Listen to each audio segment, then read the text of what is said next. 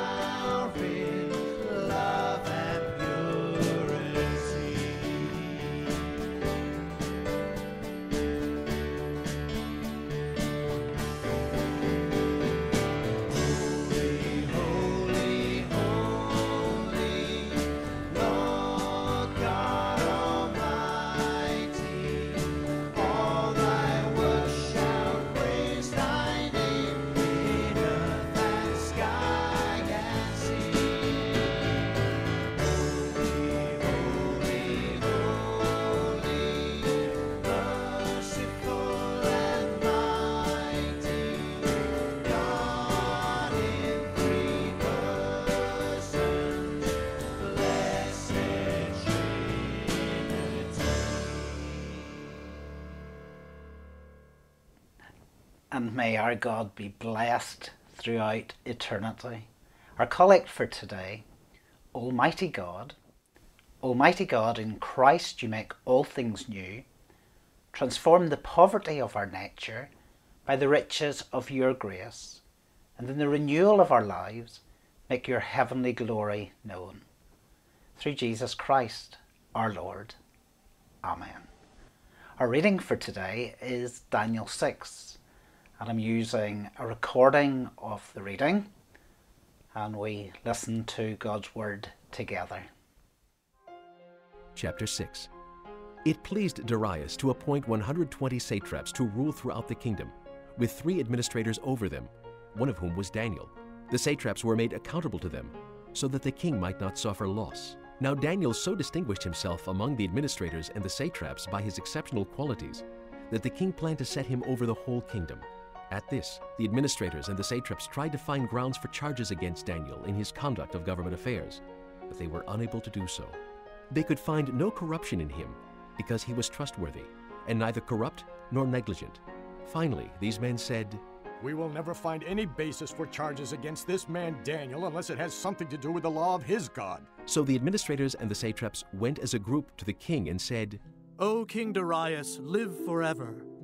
The royal administrators prefects, satraps, advisors, and governors have all agreed that the king should issue an edict and enforce the decree that anyone who prays to any god or man during the next 30 days, except to you, O king, shall be thrown into the lion's den. Now, O king, issue the decree and put it in writing so that it cannot be altered, in accordance with the laws of the Medes and Persians, which cannot be repealed. So King Darius put the decree in writing. Now, when Daniel learned that the decree had been published, he went home to his upstairs room where the windows opened toward Jerusalem. Three times a day he got down on his knees and prayed, giving thanks to his God, just as he had done before. Then these men went as a group and found Daniel praying and asking God for help. So they went to the king and spoke to him about his royal decree. Did you not publish a decree that during the next 30 days anyone who prays to any god or man except to you, O king, would be thrown into the lion's den? The king answered, The decree stands, in accordance with the laws of the Medes and Persians, which cannot be repealed. Then they said to the king, Daniel, who is one of the exiles from Judah, pays no attention to you, O king, or to the decree you put in writing. He still prays three times a day. When the king heard this, he was greatly distressed. He was determined to rescue Daniel and made every effort until sundown to save him. Then the men went as a group to the king and said to him, Remember, O king, that according to the law of the Medes and Persians, no decree or edict that the king issues can be changed. So the king gave the order, and they brought Daniel and threw him into the lion's den. The king said to Daniel, May your God, whom you serve continually, rescue you. A stone was brought and placed over the mouth of the den, and the king sealed it with his own signet ring and with the rings of his nobles, so that Daniel's situation might not be changed. Then the king returned to his palace and spent the night without eating and without any entertainment being brought to him, and he could not sleep. At the first light of dawn, the king got up and hurried to the lion's den. When he came near the den, he called to Daniel in an anguished voice Daniel, servant of the living God, has your God, whom you serve continually, been able to rescue you from the lions? Daniel answered, O king, live forever. My God sent his angel, and he shut the mouths of the lions. They have not hurt me, because I was found innocent in his sight. Nor have I ever done any wrong before you, O king. The king was overjoyed and gave orders to lift Daniel out of the den. And when Daniel was lifted from the den, no wound was found on him, because he had trusted in his God. At the king's command, the men who had falsely accused Daniel were brought in and thrown into the lion's den, along with their wives and children. And before they reached the floor of the den, the lions overpowered them and crushed all their bones. Then King Darius wrote to all the peoples, nations, and men of every language throughout the land May you prosper greatly. I issue a decree that in every part of my kingdom, people must fear and reverence the God of Daniel. For he is the living God, and he endures forever. His kingdom will not be destroyed, his dominion will never end. He rescues and he saves. He performs signs and wonders in the heavens and on earth. He has rescued Daniel from the power of the lions. So Daniel prospered during the reign of Darius and the reign of Cyrus the Persian. And it's always good to hear God's word proclaimed. Let's pray. God our Father, we come before you today and we thank you for the example of Daniel and pray that you would open our hearts to your word. And Lord, you would write that word in our hearts. For we ask it in Jesus' name. Amen. When we were little, we used to play a game of dare where you'd gather with your friends and you would dare them to do silly things like go and knock the neighbour's door and run away and hide, or to go into the house and bring out some biscuits. Well, I'm sure you've heard of, of the, the song Dare to be a Daniel, Dare to stand alone, Dare to have a purpose firm, Dare to make it known. And while it may be just a song, I want to challenge you today and ask would you dare to be a Daniel? Would you take a chance to be more like Daniel as you live out your Christian life? But I wonder what made Daniel different from all his contemporaries? What set him apart? And, and why on earth would we want to be like this man who lived all those years ago? Is it worth taking a chance in today's world? Well, let's turn to God's Word uh, and see what God has to say for us this morning. Well, the first thing I want to say about Daniel is that it is without doubt, and there is no question, that Daniel was a man of integrity. There were no skeletons in his cupboard. When we look at chapter 6, we find out that Daniel was a man who had a great reputation. We read that in verses 3 and 4. Now Daniel so distinguished himself among the chief ministers and satraps by his exceptional qualities that the king planned to set him over the whole kingdom. At this, the chief ministers and satraps tried to find grounds for charges against Daniel in his government of government affairs, but they were unable to do so. They could find no corruption in him because he was trustworthy and neither corrupt nor diligent. Isn't that amazing that those people who were seeking to point the fingers at Daniel couldn't find any faults with him? But I wish that was true of today's world. When people point their fingers at us and question our faith uh, and our commitment to God. It made me sad recently when I heard about a man who had gone on furlough. This man is a Christian and involved in, in his church. But while he's on furlough, he's still working for his employers and he's also getting paid for it, even though the government are, are subsidising his, his salary. You know, it's like the man who, who fiddled his taxes and he ended up paying a lot less than what he should have done. And, and a few months later, he, he's lying in bed and he's tossing and turning, and, and he's unable to sleep because of the guilt of not paying his taxes. And so, in the end, he decides to write a letter to the Inland Revenue, and in that letter, he apologises that he underpaid his taxes and also told them that he was enclosing a cheque for £500. And if he was unable to sleep for the rest of the week, then he would send the rest. You know, we may laugh at that, but it's a tragic reality. That it's almost acceptable in today's society to compromise your integrity and values, even, even if you're a Christian. You know, it may not cause many people loss of sleep, and people may batter their eyelids a little. But at the end of the day, when we compromise our, val- our integrity, when we lower our values, it comes between us uh, and the Lord. Like Daniel, we are called to live a life of integrity and purity. Uh, and that's what Peter mentions when he writes to the church in a second letter uh, in chapter 1 and, and verse 5.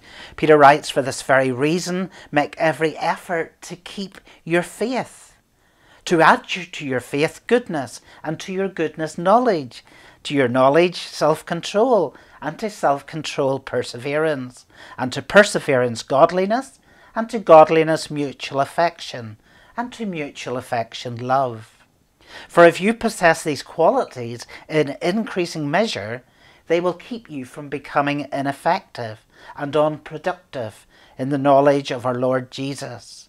But whoever does not have them is short sighted and blind, forgetting that they have been cleansed from their past. And so Peter calls us to live a life of goodness and knowledge and self control and perseverance and godliness and mutual affection and love. Those are the qualities that Peter calls us to have. And Daniel was a man who lived a life of both purity and integrity the church isn't called to rubber stamp the, the world's behaviour. And as Christians, we are called to look to God for our standards, not to the world. And, and that's what Paul wrote to the church eh, in Rome. Transform your minds, renew your minds, not according to the world, but according to God. And, and so Daniel chose to live this life of integrity and to live a moral life. He chose to be different. What about you? Do you dare to be like Daniel? Do you dare to be different? Now, to be different requires more than just being a man or woman of integrity. It requires being close to God. And you know, there's no doubt when we turn to Scripture that Daniel's fellowship and prayer life were unquestionable. And that's what we read in, in Daniel 6 and, and verse 10. Now, when Daniel learned that the decree had been published, he went home to his upstairs room where the windows opened towards Jerusalem. Three times a day he got down on his knees and prayed, giving thanks to God just as he had done before. We all know the song, don't we? Daniel was a man of prayer. Daily he prayed three times. But did you notice how Daniel prayed? Daniel prayed on his knees. We're told three times a day he got down on his knees and pray. Now, I'm not suggesting that you kneel if you're unable to. But what I am suggesting is that we grow closer to God in our prayer life and in our journey of faith. Looking back through history, you will find the number of ministries that were successful not as a result of ability, but as a result of prayer life. And I can bear testimony, and I'm sure many of you can too as well. Some of our worst failures were a result of not praying enough. You know, I don't believe we can live this kind of life where we do what we want say what we want, go where we want, and then ask God to bless us. We need to be men and women of integrity. We need to be men and women of prayer. Dare you? Dare you get on your knees? Dare you pray and see God at work in your life? We need to be more disciplined, don't we? And that's certainly true of Daniel. He was a man of discipline. And so, like him, we need to use our tongues less for gossip and more for prayer, less for running people down and more for blessing God and, and building people up. You know, Daniel dared to be different. You know, you hear people complain about how godless and how immoral is society is. But I wonder how many of those people actually pick up their Bible and read it. I wonder how many of those people actually get down on their knees and pour out their hearts to God about society. Daniel got on his knees three times a day to intercede, to pour out his heart to God, even in the midst of danger. What about you? Do you dare to be different? Do you dare to commit yourself to being regular in the place of prayer, to be regular opening your scriptures, to be regular in worship, whether here online or when church reopens and we're able to do that safely? Do you dare to, to building other people up and playing a positive role within the church? Now, those things don't come easy, do they? We all have a choice. And that choice is simple whether we're going to choose the ways of man or to choose the ways of God. And here Daniel is put in a very awkward situation. The royal ministers, prefects, satraps, advisers, and government all agreed that the king should issue an edict and enforce a decree that anyone who prays to God or any human being during the next 30 days, except to you, your majesty, shall be thrown to the lions. Daniel had a choice here whether he was going to choose God or choose the ways of man. In choosing God, there was that real danger it was going to have an impact on his life. Choosing the ways of man, then he would please man and save his life. But this law that his so called friends invented was no more a than a trap. They knew how Daniel would react, they knew that Daniel would get into trouble. And so they plan and Daniel falls right into the heart of their plan. Daniel didn't conform, did he? Did he go along with peer pressure? Did he try and please people? Think about it. Did Daniel really want to be the, li- the lion's dinner? Did he want to be thrown in the pit? I'm sure he didn't. But his allegiance was to God. It is yours. Daniel's testimony is one of integrity. It's one of prayer. It's one of allegiance to God. And in the end, Daniel chooses to love God more than his own life. He was determined to, to serve God no matter what the cost. And he was prepared to face pain and isolation.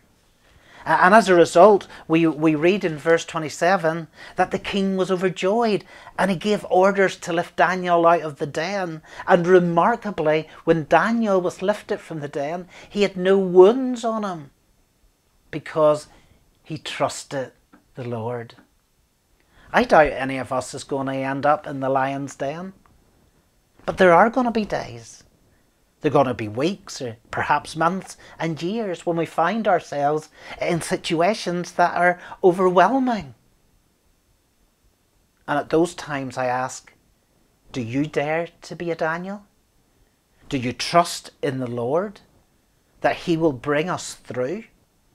You know, Psalm 27 says, The Lord is my strength and my salvation. What then shall I fear?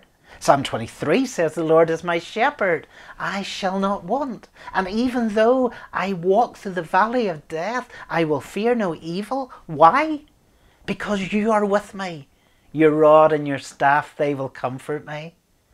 And then those beautiful words from Psalm 32 and verse 7 You are my hiding place. You will protect me from trouble and surround me with a song of deliverance. And, and that was Daniel's experience. Do we dare to be a Daniel? Do we dare live a life of integrity?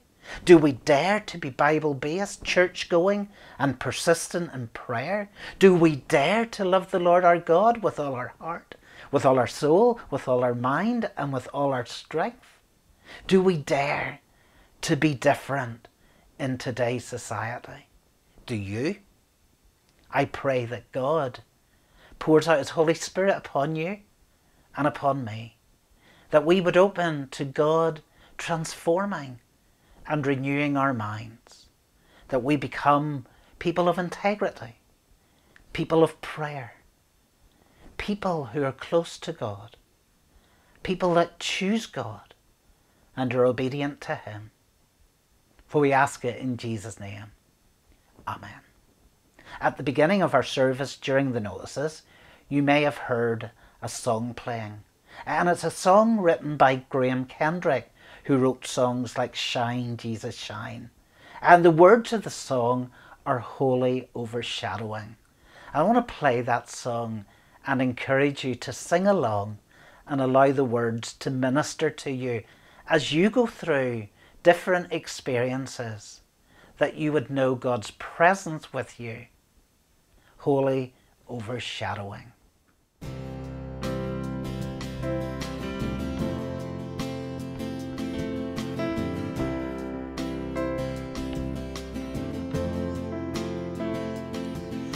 Spread your wings of mercy over me. And guard my heart with true humility. No shadow of the darkness pressing in, only the holy overshadowing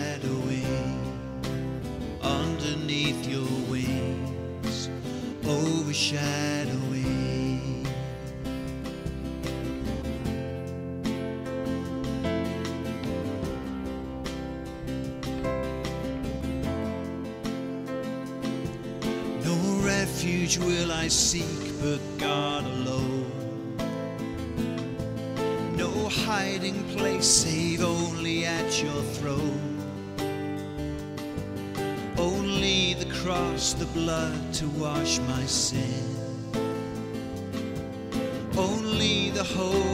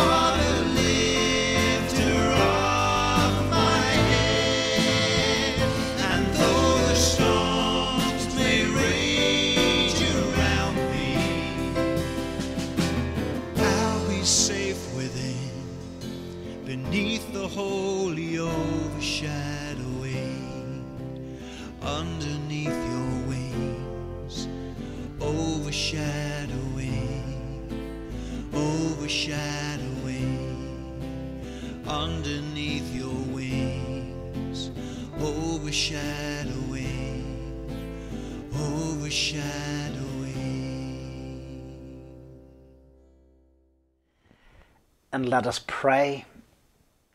And as we pray, we, we think about those words we've just sung. Oh, spread your wings of mercy over us and guard our hearts with true humility. No shadow of darkness pressing in, only your holy overshadowing. No refuge will we seek but God alone. No hiding place safe only at your throne. Only the cross, the blood to wash away my sin. Only the holy overshadowing. You are our shield and our glory. You are the lifter of our head. And though the storms may rage around us, we'll be safe within, beneath your holy overshadowing. No burden on my back too hard to bear, only the easy load you bid me wear. Until the troubles past, my heart will sing praise for your holy overshadowing. And Father, we thank you today for your great power. Lord, we praise you for your truth. We are grateful that you have set us free from the clutching grasp of sin and death. Lord, would you be with your people today, especially in this pandemic, extending your grace, granting your freedom, providing your protection, and empowering us with your strength. Lord, we ask that you would bring about an awakening of your presence as never been seen before. Lord, we ask that your name be proclaimed, that all plans to silence the name of Jesus would be thwarted and crushed. We pray that many would come to know you as Lord and Saviour. We pray that many would see your light that you would open blind eyes and release those still imprisoned. Lord, we pray that you would unify your people, especially during this week of prayer for Christian unity. Lord, we pray that you would unify us to glorify your name, that all who call themselves Christians would rise up believing in your great truth. Lord, wake us up Remind us to live always aware of your presence, to redeem time, to listen to your words, to be willing to make a difference in our generation. We pray for those in authority, especially those who would seek to guide and lead us through these uncertain days. Lord, that you would give them wisdom and discernment as they lead.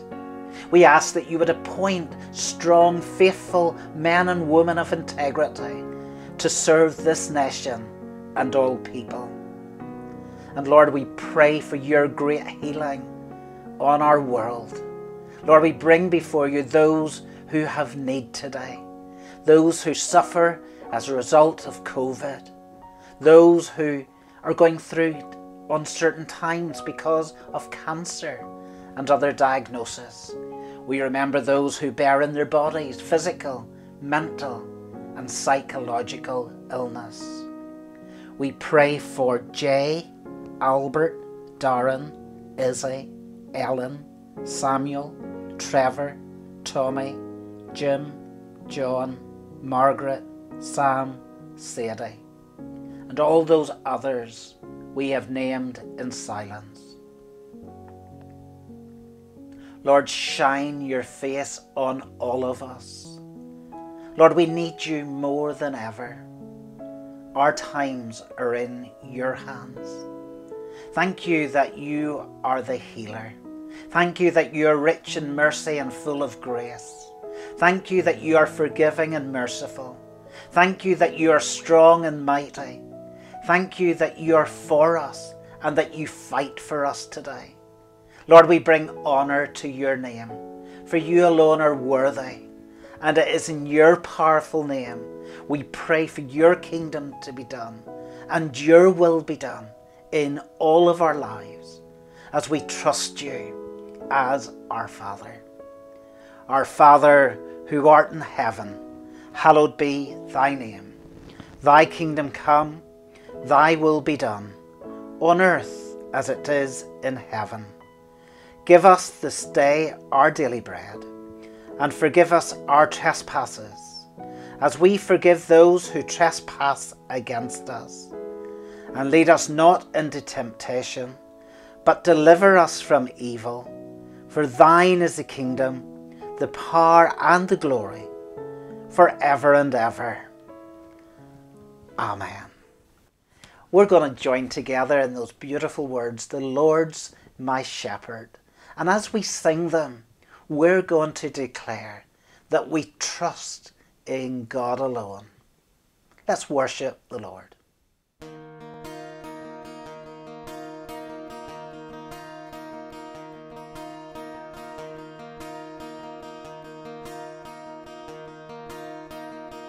Lord's my shepherd, I'm not want.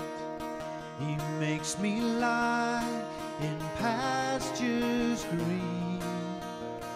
He leads me by the still, still waters. His goodness restores my soul, and I will trust in you I will trust in you alone. For your endless mercy follows me. Your goodness will lead me home. He guides my ways in righteousness,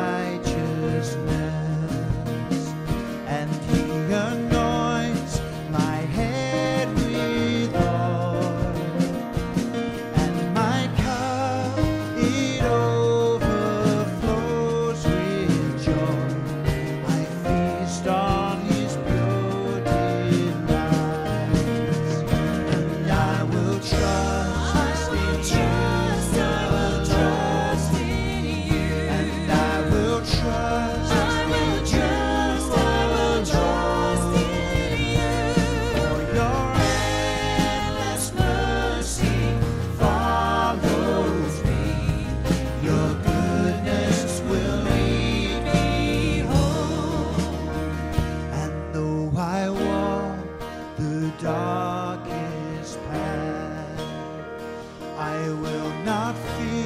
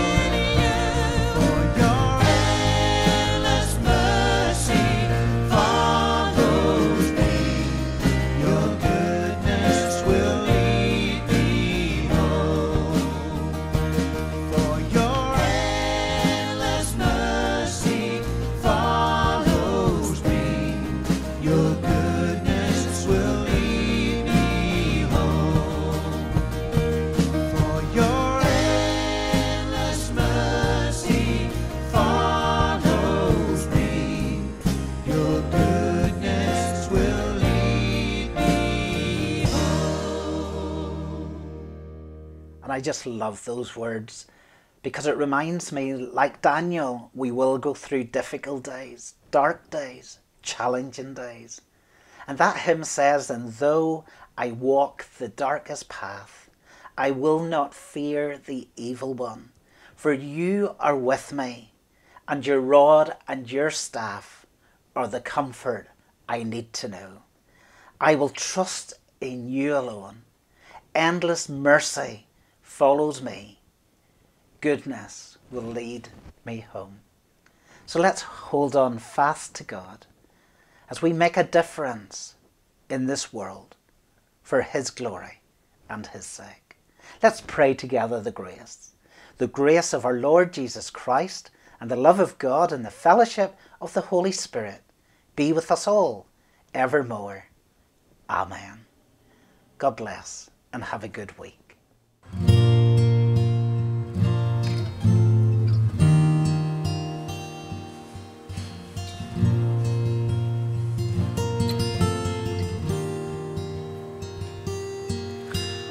Spread your wings